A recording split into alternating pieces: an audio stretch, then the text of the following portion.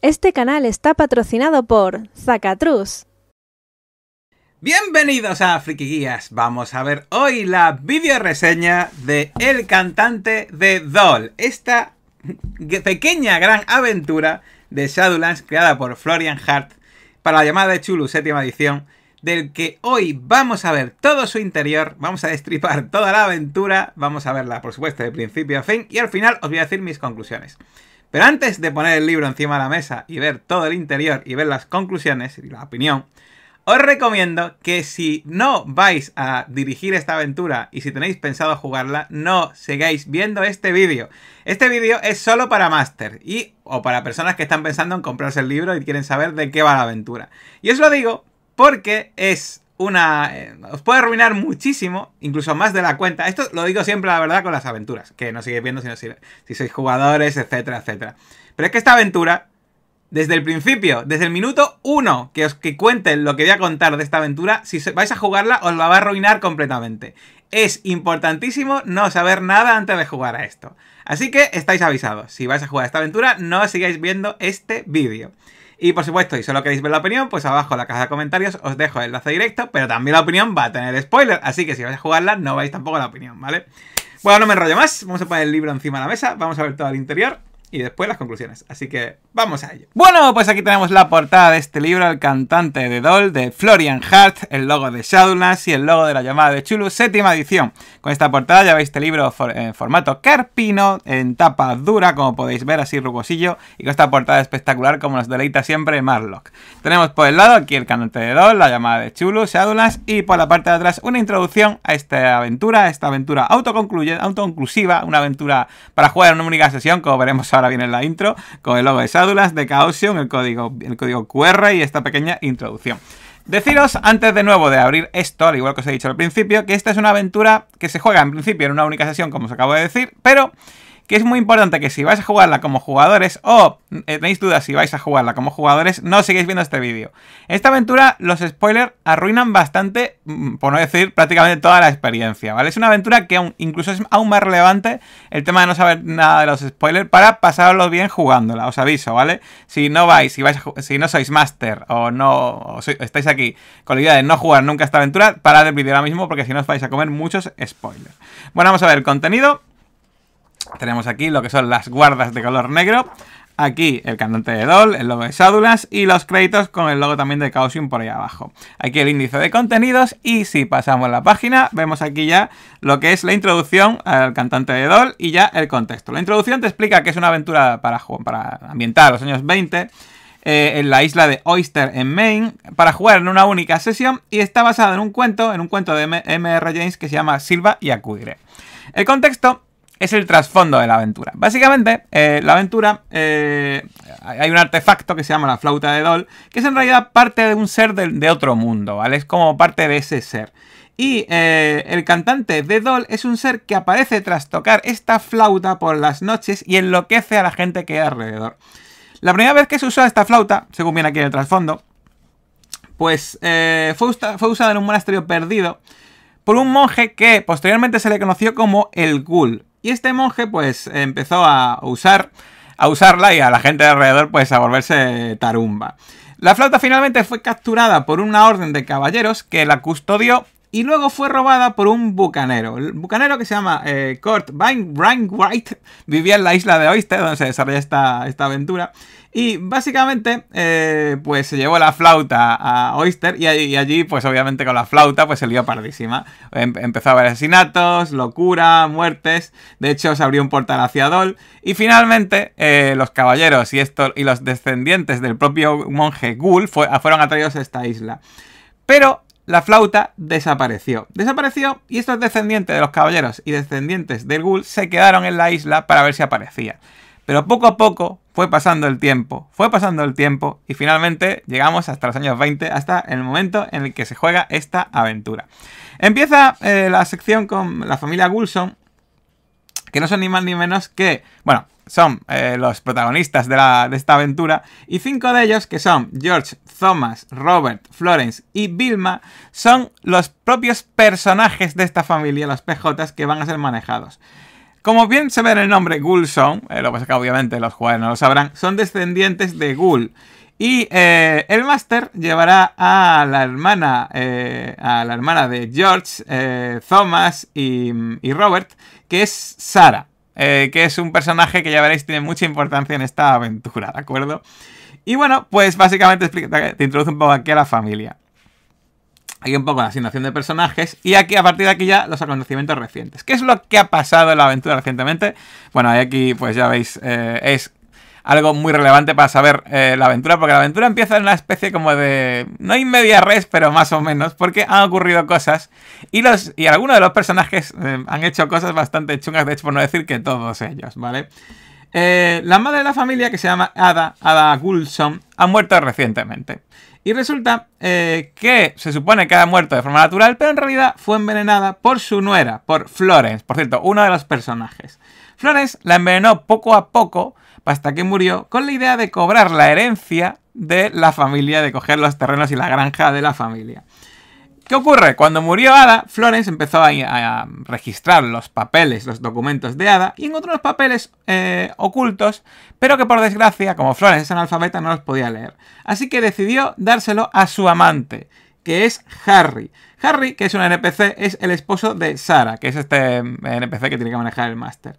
Y Harry, cuando leyó los documentos, descubrió que había una especie de mapa del tesoro en estos documentos. Y compartió este mapa del tesoro con George, eh, y acordaron ir en secreto al volver de un viaje, del viaje que iban a hacer para enterrar a Ada, ir a buscar a este tesoro. ¿Qué ocurre? Que resulta que Harry, eh, al ver que, al descubrir que el tesoro estaba escondido en una iglesia cercana, porque se lo dijo George, decidió no esperar a volver de viaje y esa misma noche fue en secreto a la iglesia a buscar el tesoro. Pero para su desgracia, eso mismo hizo George.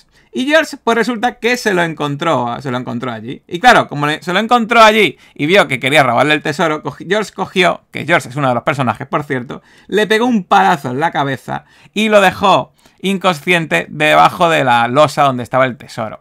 De hecho, George en principio cree que lo ha matado, pero en realidad no lo mató. Harry se despertó debajo de la losa, mientras el resto de la familia se iba en barco fuera de la isla para el funeral de Ada.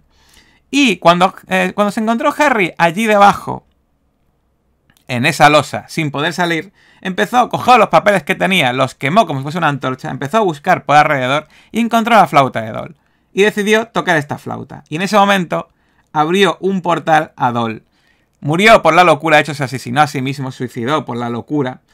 Y en ese momento la familia volvía en el barco, volvía en el barco a la isla. Y resulta ser descendientes de, de Ghoul, ser de los Ghoulson, de repente la familia se volvió loca, se transformaron en una especie de seres extraños y se fueron nadando del barco, barco un barco que por culpa del temporal había encallado, se fueron nadando hacia la isla, nadaron, asesinaron a muchas personas y después de ello volvieron al barco. El, agua por nadar pues eh, destruyó las pruebas de que habían sido ellos los asesinatos y Empieza la aventura con los personajes despertándose por la mañana sin saber que han ido a la isla y por culpa de Dol han asesinado a un montonazo de gente. Y este y media res, ya os digo, empieza esta aventura. Tenemos este, eh, este, esta, sección de, esta sección que es la de la isla de Oyster, que te cuenta pues la historia de la isla. De hecho te indica que todos los personajes deberían leer este capítulo, el de la isla de Oyster. Se puede fotocopiar o si tienes el PDF puedes escanear, pasárselo a los jugadores. Y básicamente te cuenta la historia colonial eh, y las dos tragedias que ocurrieron en la isla. La tragedia con los indios que vivían allí y la tragedia que ocurrió en la guerra de la independencia. Luego tenemos, bueno, el inicio, la ciudad de Tanner.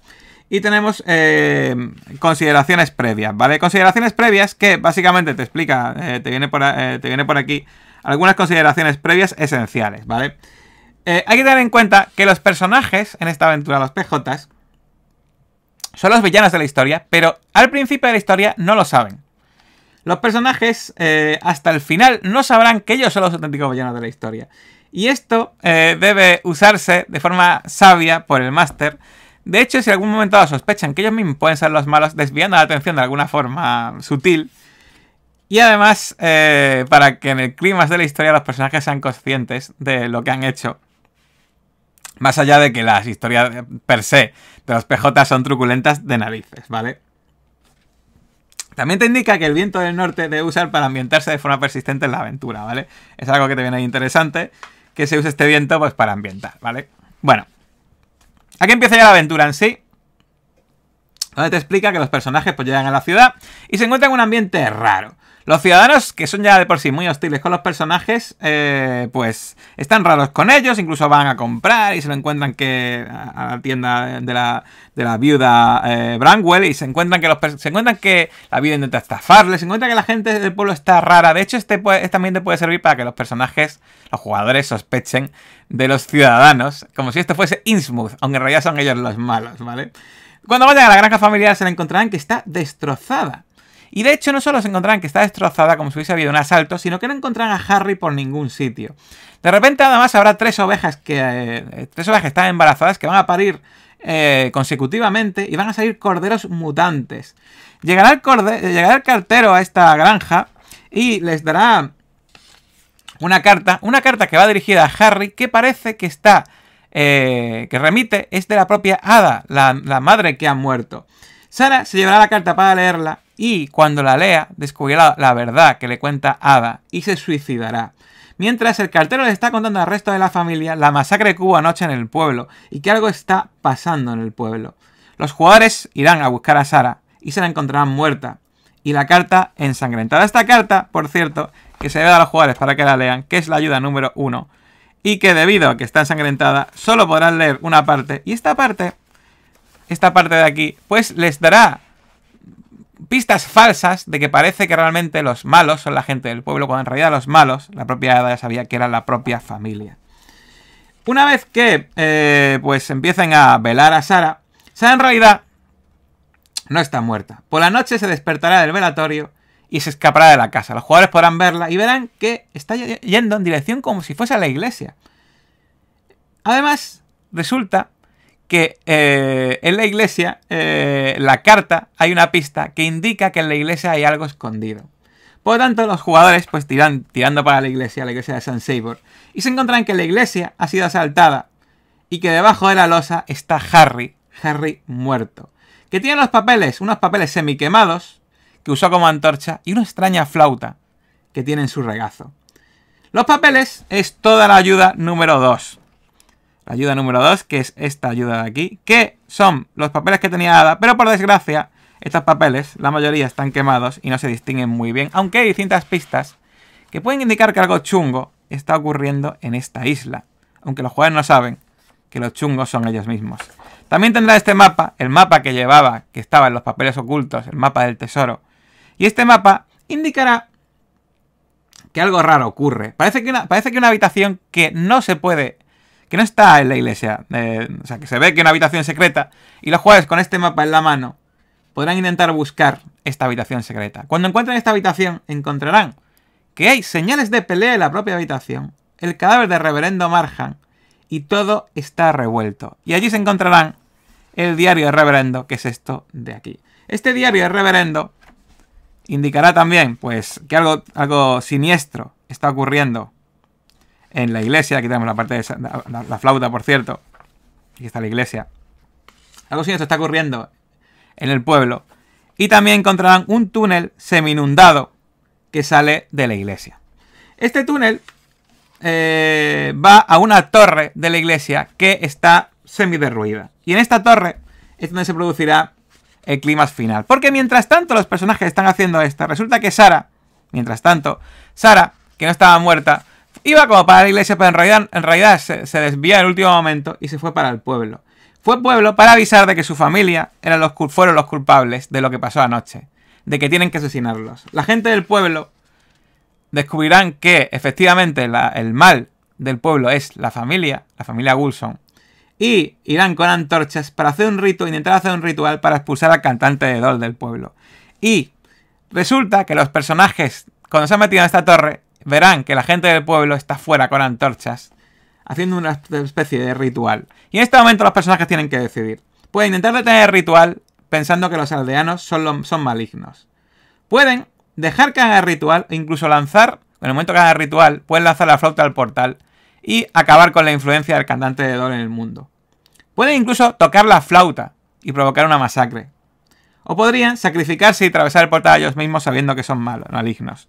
Sea como sea, la conclusión de la aventura es este, este es el clímax. Y aquí acabará el cantante de Doll. Cuando puede que los personajes toquen ellos mismos la flauta y este ser vendrá, los transformará en monstruos y habrá una masacre en el pueblo. Lo que hagan dependerá de los jugadores. Y esta es la conclusión de la aventura, amigos. La aventura donde, los, donde parecerá que estamos jugando una especie de Innsmouth, pero en realidad los, los malignos, los malos, son los personajes. Aquí tenemos, por cierto, los personajes. Tenemos a Flores, que envenenó a, madre de familia. Tenemos a George, que le pegó, que tiene una herida de guerra, está cojo, le pegó el palazo a Harry y lo dejó allí muerto.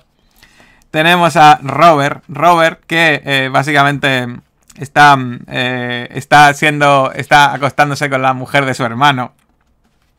Tenemos a Thomas, a Thomas que también tiene lo suyo, porque eh, es una persona totalmente inocente, pero es el culpable de que su hermano le falte una pierna, porque en la guerra su hermano fue el que se comprometió con su mujer y le pegó un tiro para que el hermano se quedase tullido y ser él el que se casase con su mujer. Y por último, tenemos aquí a Wilma, que es eh, una niña de 8 años, que eh, también será un auténtico reto eh, que uno de los jugadores la lleve. Porque sospechará, podrá sospechar bastante lo que ocurre y será el toque inquietante de la aventura. También tenemos por aquí a los penejotas. Tenemos aquí a Sara, a los jóvenes de la ciudad, a la viuda Orangwell, a Frank que tenemos por aquí, a los aldeanos, a James Caldwell, el reverendo. Y bueno, Canote de Doll no tiene estadísticas, por cierto, el cordero deforme. Y aquí las ayudas de juego, con esta carta ensangrentada que está leyendo Sara, que está dirigida por Ada. Tenemos aquí todos estos documentos y pistas de que algo siniestro está ocurriendo en el propio Oyster. Y por último, tenemos aquí una parte de notas y el final de la aventura de este cantante de Doll, donde parecerá que están jugando pues una aventura en plan Ismuth, pero en realidad los que son los malignos, los que son los malos de la película, son los propios personajes. Así que venga, vamos a pasar a ver las conclusiones. Bueno, pues ya está, ya hemos visto todo el contenido de este cantante de Doll, esta aventura, tremenda aventura para la llamada de Chulu, la séptima edición que ha sacado Shadowlands. Bueno, eh, tengo, que, tengo, que, apuntar algunas cositas, ya sabéis, formato carpino, es un libro en formato carpino, como lo podéis ver, eh, así más pequeñito. Eh, portada a color, con papel normal en blanco y negro en el interior y con el PDF, pues incluido en el libro sí, ¿vale? El arte es tremendamente inquietante, bueno, esta portada es con esta, la iglesia con la parte de abajo y demás, es tremendamente evocador por parte de Marlo, pero luego el interior de Kisama, las ilustraciones, dan un mal rollo de la leche. Fijaos, esta, por ejemplo, es, la leche. El, arte está genial. Ya sabéis que Shadowlands, una de las cosas que hace, y eh, lo cuida mucho, especialmente porque Marlo que está ahí al detalle, es cuidar mucho el arte y el diseño de todos sus libros. Y este, pues, está obviamente a la altura de la calidad de los libros que suele hacer Shadowlands. Eh, luego, bueno, tengo aquí puesto ya, ya hablo de la aventura. El formato es, es, un, es una aventura autoconclusiva, en principio para jugar una tarde, aunque yo creo que online lo ideal es jugarla en una sesión, la verdad, por el tono que tiene. Pero online igual se puede ir a dos, ¿vale? Eh, y es una aventura, tengo aquí puesto una aventura tremenda para... Tengo puesto aquí, tremenda para ver el terror desde otro punto de vista. Es que yo creo que es la conclusión perfecta. Cuando es una aventura, porque es verdad que muchas veces, cuando se juega una aventura de la llamada de Chulu, o de los mitos, eh, hay veces que se tiende a mm, olvidar eh, que está presente el terror porque son aventuras de investigación, o a ver un terror que los jugadores metajugando pueden ver un poco por dónde van los tiros. Esta no es una aventura de investigación per se donde el terror esté de fondo y aparezca al final, sino que el terror está presente toda la aventura. Por tanto, es una aventura de terror donde los jugadores desde el principio van a estar viviendo el terror incluso en la historia de los personajes. Los personajes, una envenenadora, uno que casi mata a su hermano para casarse con su mujer, otro que está, eh, un adúltero, eh, una niña de 8 años.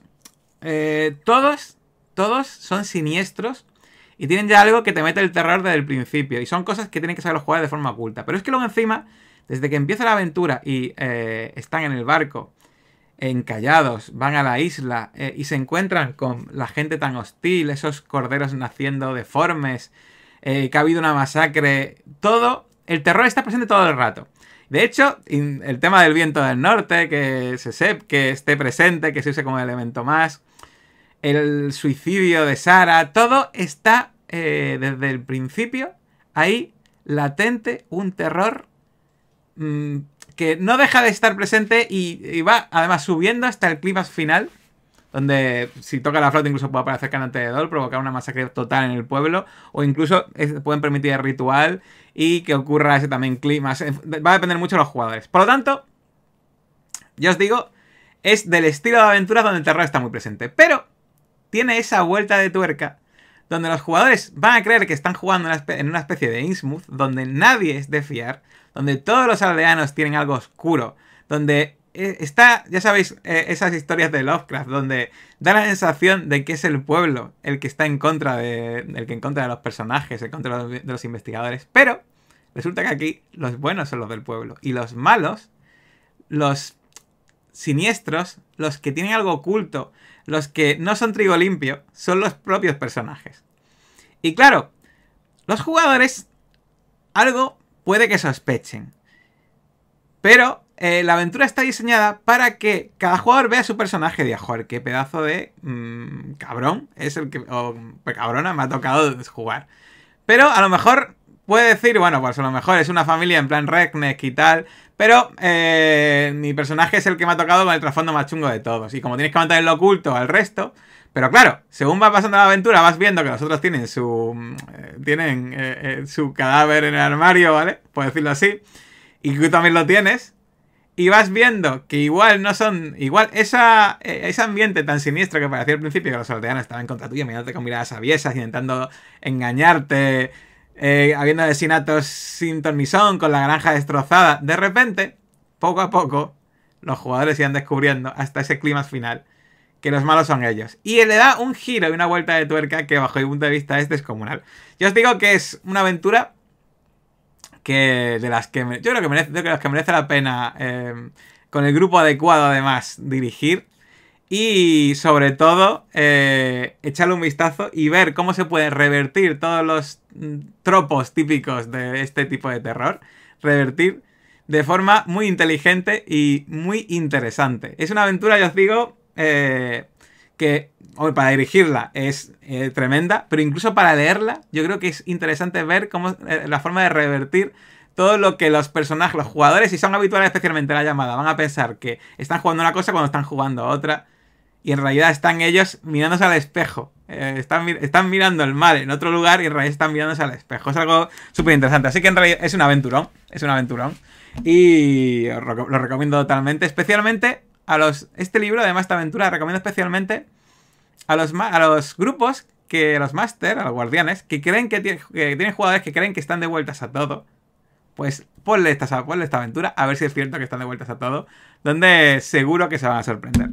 Y bueno, pues ya está. Esta ha sido mi reseña eh, de, mi reseña del cantante de Doll. Creo que no se olvida nada. Estoy mirando a ver. Yo creo que está todo dicho, la verdad. Además, bueno, eh, lo que es la edición, es una edición que es así pequeñita, muy manejable, con el PDF, con las ayudas al final, eh, espectacular como siempre. En eso Shadowland siempre está a la altura. Así que, pues ya está. Si os ha gustado el vídeo, le podéis dar un me gusta así de grande. Me podéis dejar abajo en los comentarios qué os ha parecido, suscribirse al canal, le a la campanita, todas esas cosas. Y venga, nos vemos en el próximo vídeo. ¡Adiós!